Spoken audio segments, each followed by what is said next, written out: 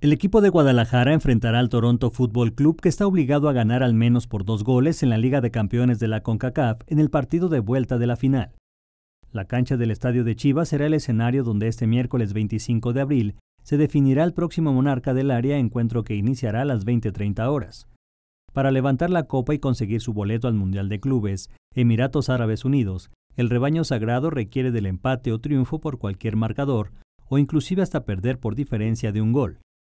Si Toronto Football Club quiere convertirse en el primer representante no mexicano ni costarricense en llegar a un Mundial de Clubes, necesita ganar por diferencia de tres goles o al menos de dos para obligar a los penales. Notimex.